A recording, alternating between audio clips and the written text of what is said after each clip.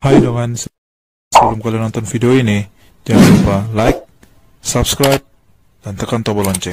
Mau lihat ya?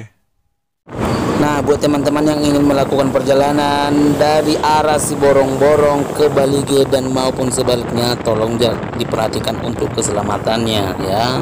Karena am, karena jalanan di sini sangat banyak ah, tikungannya dan jalanannya juga banyak dalam proses perbaikan, yaitu mulai dari perbatasan Kabupaten Toba Kumbahas hingga ke Tapanuli Utara. Jadi untuk rekan-rekan yang ingin melakukan perjalanan uh, sebelum melakukan perjalanan tolong uh, um, mobilnya diperhatikan baik itu rem segala macamnya pokoknya segala sesuatu yang dibutuhkan di untuk melakukan perjalanan.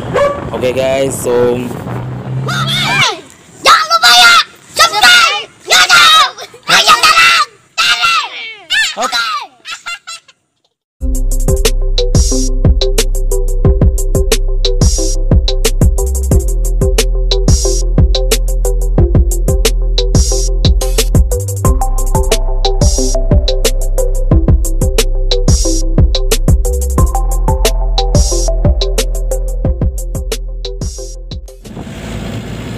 Oke guys, jadi kali ini aku mau jalan-jalan dulu melihat-lihat jalan yang ada diresmikan Bapak Jokowi kita kemarin, Bapak Presiden kita yaitu jalan bypass yang ada di Baligi.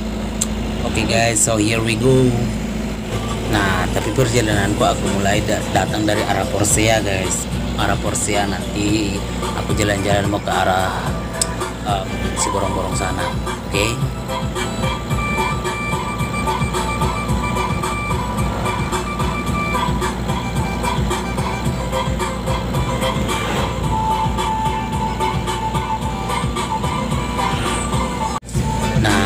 perjalanan tadi udah lumayan lumayan panjang, saya datang dari daerah Indorayon atau yang sudah diganti dengan uh, Toba Food Lestari sekarang atau TPL. Dan sekarang saya udah tiba di pusatnya Kota Porsea. Jadi ini Kota Porseanya, guys. Setelah udah melakukan perjalanan panjang yang begitu panjang mulai dari Kota Persea s- em, hingga ke pusat Kota Persea jadi ini jalan ke setelah kita udah lewat Persea um, lagu ah, ini arah mau ke ketemu kotanya. Lagu Boti so here we go. This is the city of Lagu Boti jadi ini Lagu Boti guys. Jadi ini um, sekitar berapa kilometer dari kota Persea ya kalau kita dari datang datang dari kota Persea inilah pusatnya kota Lagu Boti habis Lagu Boti itu nanti baru baru Balige nah tapi jalan jalan kita nanti kalau dari Lagu Boti ini jalan bypassnya itu sebelah sebelah kiri sebelum Balige jadi habis Lagu Boti ini baru Baligi. Nah pertengahan Baligi anta- antara Baligi dan Lagu Boti itulah jalan bypass nanti tembus tembusnya. Kira-kira seperti itu. So let's go. So guys, jadi ini adalah persimpangan yang ke jalan bypassnya itu. Kalau kita dari uh, Lagu Boti atau dari Baligi berarti ini pertengahan antara Lagu Boti dan Baligi.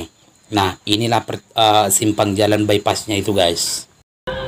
Oke, jadi em, di sini aku bukannya mau untuk mau buang-buang waktu atau mau apa pun itu, tapi aku mau mengungkap ada beberapa fakta tentang jalan bypass yang udah diresmikan Bapak Jokowi kemarin. Sekalian dia em, keliling Sumatera Utara maybe ya, sampai dia soalnya dia sampai ke Samosir juga.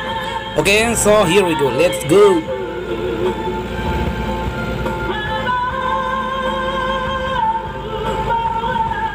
Oke, so guys, yang fakta yang pertama adalah jalan bypass Baligi ini dibangun sekitar lima tahun yang lalu, seperti yang di- dibicarakan oleh Bapak Direktur Jenderal Bina Marga Kementerian Pekerjaan Umum dan Perumahan Rakyat atau PUPR. Hedi Rahadian menyebutkan bahwa jalan bypass Baligi ini dibangun sejak lima tahun yang lalu secara bertahap. Nah, tujuan dari pembangunan ini adalah untuk mencegah terjadinya kemacetan yang terjadi di kota Baligi dan sekitarnya. Pasalnya nih guys, kota Baligi ini merupakan daerah wisata. Nah, Bapak itu sempat bilangkan, jadi ini jalan untuk mencegah terjadinya kemacetan di Baligi. Jadi sifatnya lingkar bypass sehingga traffic-traffic yang sifatnya go through tidak akan ke Baligi. Itu bisa melalui jalan lingkar ini. itulah yang diungkapkan oleh Bapak Eko. Dan fakta yang kedua tentang jalan bypass Baligi ini menghabiskan biaya sekitar 176 miliar nih guys. Nah, dibangun sepanjang 9,8 km dan berlokasi di bagian hulu kota Baligi. Jalan bypass Baligi ini menelan biaya hingga 176 miliar. Dengan biaya sebesar itu, jalan bypass Baligi ini diharapkan bisa meningkatkan aksesibilitas warga sekitar kota Baligi. Nah sebelumnya guys, warga harus melewati kota dan menghadapi kemacetan lalu lintas yang luar biasa kalau kita memang melalui akses dari kota Baligi atau dari pusat kota Baligi. Kini dengan sudah bisa dilaluinya jalan bypass Baligi ini, masyarakat atau warga sekitar bisa mempersingkat waktu tempuh perjalanan mereka, baik itu ke bandara atau mau ke um, Ciborong-Borong atau Kabupaten Humbahas lebih tepatnya.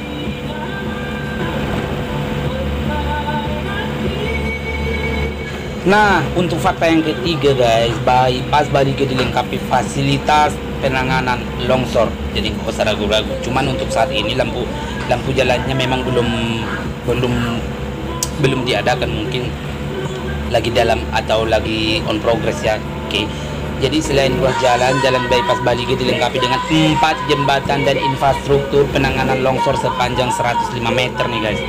Nah, keempat jembatan yang dimaksud adalah perlintasan Aik Haluan sepanjang 30 meter, Aik Bolon sepanjang 35 meter, Sopo Surung sepanjang 35 meter juga, dan jembatan Aik Hinalang sepanjang 7 meter.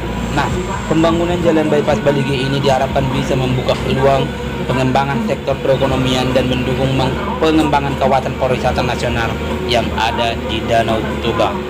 Yap, mudah-mudahan pariwisata di Danau Toba, uh, mudah-mudahan dengan adanya jalan bypass ini uh, lebih memudahkan uh, para wisatawan yang ingin datang ke uh, Danau Toba tepatnya di Sumatera Utara melalui Bandara Silangit ya guys ya.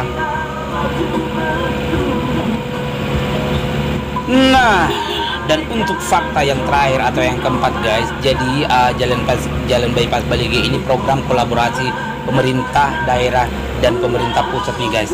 Oke, pembangunan jalan bypass Baligi ini merupakan hasil kolaborasi pemerintah daerah dan pemerintah pusat guys. Jadi pembebasan lahannya dari dana Pemkap Toba dan pembangunannya oleh Kementerian PUPR. Sejak akhir tahun 2021, jalan bypass Baligi sudah bisa digunakan sebagai alternatif perlintasan pengendara yang enggan melewati kawasan perkotaan seperti kota Baligi. Nah, terutama saat jam-jam padat kendaraan kayak semacamnya hari Jumat karena hari Jumat itu adalah uh, pekan di Baligi ini. Jadi kemacetan memang sangat luar biasa, guys. Oke okay guys, jadi kira-kira seperti itu untuk empat fakta yang ada di jalan bypass Baligi ini yang sudah diresmikan oleh Bapak Jokowi kemarin. Mudah-mudahan dengan adanya jalan bypass ini ya aksesibilitas kita semua uh, yang ingin beraktivitas baik itu yang mau masuk atau keluar uh, Sumatera Utara tepatnya ingin berwisata ke Danau Toba ataupun yang ingin ada kunjungan pekerjaan lebih menggampangkan ya guys ya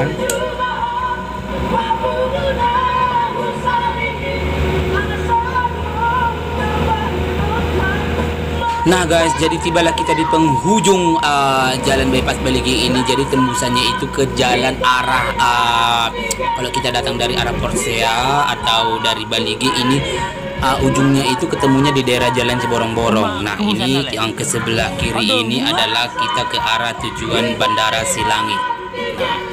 Nah, inilah perbatasannya dan tembusnya memang di sini, guys.